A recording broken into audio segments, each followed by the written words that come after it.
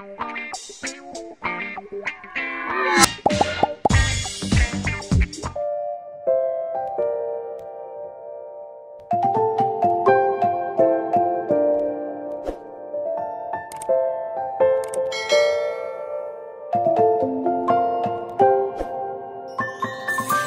many places still undiscovered, but you're stuck in